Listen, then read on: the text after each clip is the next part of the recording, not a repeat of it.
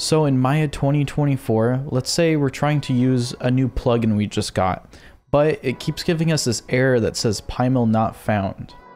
Now there's a very simple solution for this, and it's simply PyMEL exists in the wrong folder. So what we need to do is just copy and paste it into the correct folder. Now in previous installations of Maya, there was an option where you can check off whether PyMEL gets installed or not. But in Maya 2024, that's not an option.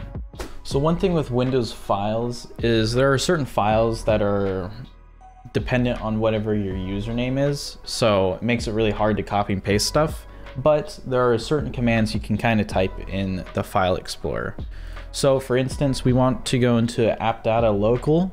So if we typed local app data and then percentage sign, it'll bring us to this folder. So instead of me needing to type out C drive users Gavin, which is specific to me, what we want to do is specifically local app data percentage sign programs python python 311 lib site packages hit enter it'll show us this folder um, this kind of comes with whatever maya installs.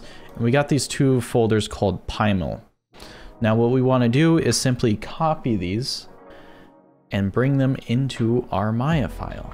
In my documents, which is in my H drive, documents, Maya 2024, scripts, site packages, and then I'll simply paste it in there. Now I've already pasted it in here, but once it's in here, once you go into Maya, it'll work just as if you installed it normally.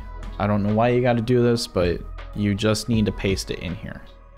Now, I'm assuming this is going to be dependent on wherever you have your documents. I actually changed my documents folder to another drive